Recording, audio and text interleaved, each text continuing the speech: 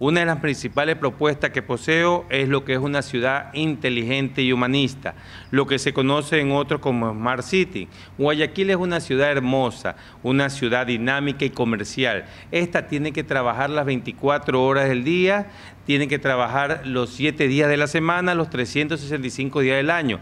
Darle la seguridad a los emprendedores y empresarios para que puedan dar cobertura al turismo internacional para que llegue a nuestra ciudad y para eso tenemos que hacer un Smart City. Dar seguridad a la urbe para que ingrese el trabajo proactivo y el turismo.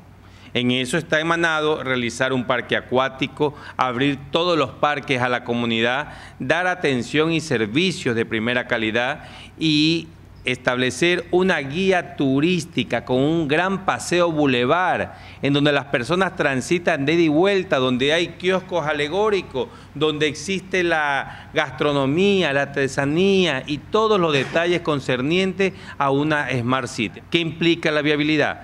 Transporte fluvial, eh, motovía, ciclovía, transporte elevado, aerovía, todo lo que les dé opciones al ciudadano para que se movilice. Lamentablemente aquí solamente es el transporte, nada más.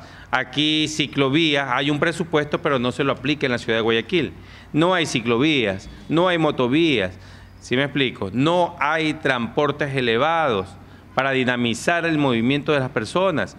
En este momento en la ciudad de Guayaquil hay un caos vehicular. La gente transita de manera lenta, lo que no permite el desarrollo y obviamente si no hay desarrollo, la economía se limita porque necesitamos agilidad en el traslado de productos, bienes y servicios. La metrovía resulta ser de mucho desagrado para varias personas que utilizan el servicio.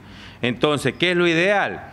Más unidades, acondicionarlas y tratar en lo posible de cuidar el medio ambiente. Lamentablemente no lo hace. ¿Qué necesitamos en la ciudad de Guayaquil? Que ya se incrementen los vehículos eléctricos porque de esa manera fortalecemos y dinamizamos la economía.